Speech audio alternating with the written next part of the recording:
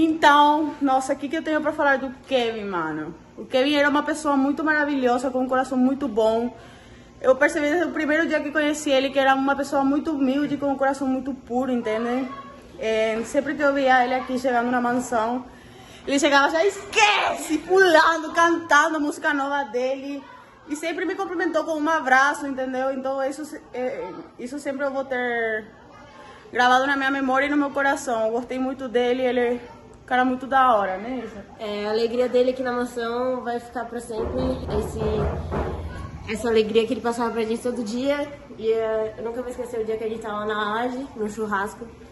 E ele falou mil vezes, repetidamente, que a mansão salvou a vida dele. E a mansão só queria salvar novamente, mas infelizmente tem coisa que não são do nosso alcance. Então a alegria dele vai sempre estar aqui, a parede vai sempre estar aqui. Infelizmente tem coisa que não dá pra esquecer. Vê, bota um pouquinho aqui. Bota não, rapaz. Bota essa paguinha. Vamos é palhaço. Fartura, hein? Fartura, família reunida. Ei, Pobrecho! Pobrecho! Ei, Pobrecho, chega aí, pai. Chega aí. Vamos fazer uma homenagem pro Kevin aqui, pai, falando um pouquinho dele aqui. Vamos. Só tirar foto com a criançada e a gente comemorar esse momento e agradecer a Deus pela fartura aí. Esse dia é... Caralho, o velho te trouxe e tá aí já com nós. Ele me abandonou. velho? Foi pra Fortaleza. Me abandonou já, Foi pra mas já. Fortaleza. Trocou ela já, trocou. Como assim? Rapaziada, um momento de fartura, um momento de felicidade, um momento de felicidade, todo, todo mundo tirando foto aí, todo mundo comendo bem. Tá bom a comida, pai? Tá, delícia. Ontem eu tava Já comeu, sem cara? comer por causa do pré-treino. Agora Uma fartura dessa, pai, eu queria deixar uma, umas palavras aí pro Kevin, pra todas as pessoas que conheceram ele na mansão e que con- conheceram ele através da mansão.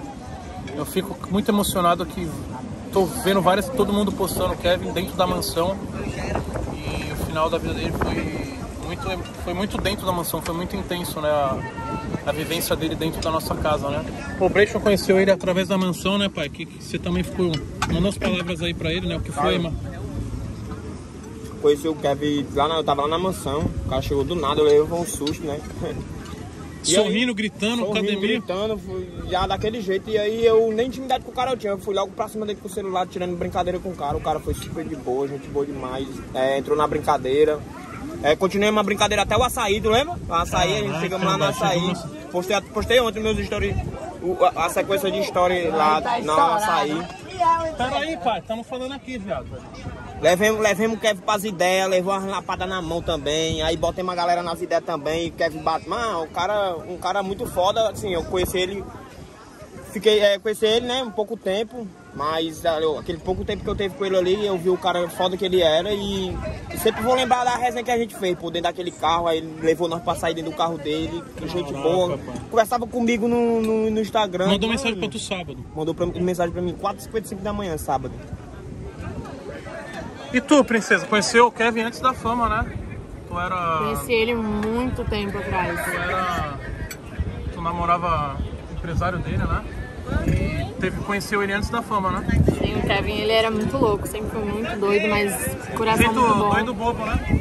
Toda vez que a gente chegava na mansão, precisa olha isso aqui, isso aqui vai bater milhões, esquece, vai ter estourado. Vai fazer muita falta. O funk tá, tá em luto, né? Ele é uma relíquia. Tu conheceu o Kevin lá, pai? Eu vi uma vez só. Te tratou bem? Tá tudo mais. Ele ia passando mal os cabos, ia saindo já que tava malhando. Ele passou alegria, agitadão, já ficando resenha com todo mundo.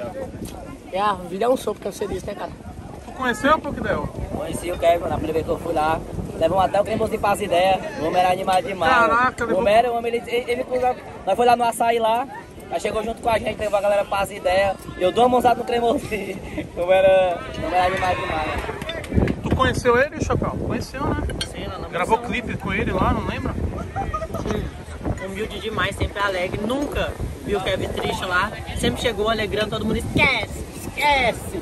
Você já ouviu ele na, na- no portão, você já ouviu ele chegando, esquece, tá estourado. Mas chegou. E tu, Ana? Conheceu também? Som aí. Conheci sim. Eu participei do clipe dele, ele sempre. Eu acho que é muito importante a gente sempre lembrar dos momentos bons, porque é o que a Chapéu falou, sempre ele tava feliz e é isso que importa. Ele deixou o legado dele, ensinou muita gente, alegrou muita gente e fez tudo o que ele queria. Se vocês verem como ele era todo tatuado, ele pensava na tatuagem, ele ia fazer, ele pensava no corte, ele ia fazer. E isso que a gente tem que lembrar sempre, o legado dele. Você quer, você faz. Pra quem escutou as últimas músicas que ele fez, ele fala isso, a vida é muito curta, né? A gente tá escutando a música dele hoje. Que a vida é muito curta, que tem que aproveitar e demonstrar sempre sentimento. Imagina, né, ter uma treta com ele e E tu, pai? Na Mansão Rap tem um clipe que nem... Então, o cara é um mar de alegria, onde ele passa, meu, felicidade geral. Até gravou o clipe lá na Mansão Hype. É, mano, o cara é foda. O cara realmente é um cara foda. Davi. Oi. Kevin, né? Saiu um, um clipe que nem saiu ainda, né? Nem saiu ainda, pai. Foda a fatalidade. Mas é isso aí, como todo mundo falou. Moço, chega aí, pai. Ele deixou o legado dele e é isso que vai se perpetuar, pai. As ideias dele. Pai, a gente tá, um momento sério agora, sem brincadeira, a gente tá fazendo uma homenagem pro Kevin aí. Esse momento de fartura, né? Tá todo mundo, a família dele, né? Todo, a, a nação funkeira tá, tá triste. Eu e você também ficamos tristes pelas mensagens. Queria que você mandasse uma, uma mensagem pra ele, né? Agora aí pra, de, de homenagem pro que foi o Kevin, né? Conheceu na mansão. O Kevin, o o Kevin era um, um- Acho que é um dos maiores nomes do funk, né? E. Peraí, pai. Era aí, buceta! Nós tamo- Tu tá alterado, pai, de manhã. Assim, como é que eu tava dizendo, o Kevin era um, é um, é um dos maiores nomes do funk, né? E eu, como amante do funk, eu tinha, um, eu tinha um sonho muito grande que era conhecer ele, né? E nunca imaginei que ia conhecer o cara. Aí eu cheguei na Mansão Maromba, conheci, a gente, a gente criou um laço de amizade muito grande entre eu e o Kevin, né? Ele sempre dizia, ah, aquele mocinho é o melhor, ah, aquele mocinho é o mais engraçado. Aquele dia na laje falando. Naquele dia lá na laje, aquele mocinho, eu vou investir você no stand-up, nós vamos lotar teatro junto. E infelizmente é, a, vida, a vida nos separou, né? Mas desde já, né, quero agradecer pelas palavras que ele, que ele me, me falava, o, o apoio que ele me deu, né? A confiança que ele passava pra mim. E quero dizer pra ele que, dependendo de onde ele estiver, ele vai vir lá de cima lotando estádio, ginásio e tudo. O Kevin é sem palavras, não tem palavra pra Se descrever. o tiver um stand-up, eu queria que você né, separasse um tempo Não, se prepara, sempre- se preocupa não, pô. Sempre que vai ter um esquece lá. Não, vai... esquece, mano, não esquece. O cara do esquece que jamais será, né? Um cara jamais será esquecido. É isso? Mas tamo junto. Cheiro na pirrola é nóis. Um abraço aqui. Mas você tá, tá com saudade de tudo pra você. Sai fora, meu. Bora comer? Tô indo pra São Paulo agora, sentido é, aeroporto, sentido vai ter uma um velório e eu vou vou lá me despedir do Kevin, né? É, hoje eu fiz uma despedida no mar, né? Eu acredito que o mar é, a é- é- é- a gente fica próximo de Deus, né? Fica aberto. E o que eu tenho para dizer é agradecer o Kevin por ter me dado essa oportunidade nesse um ano aí de Mansão Maromba. Ele frequentando a casa, eu conheci um pouquinho dessa pessoa que ele é, né? Sempre conheci ele alterado e a Mansão Maromba é, me aproximou dele, a academia me aproximou dele e até agora eu não tô acreditando que isso aconteceu.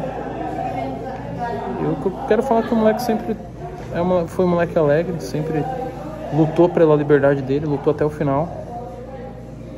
Então ele foi um cara que mudou o sistema querendo a liberdade, então ele lutou pela liberdade dele. E agora ele vai cantar pra Deus, ele deve estar lá assim, ó. Esquece. Esquece. E que Deus sempre ilumine a família dele.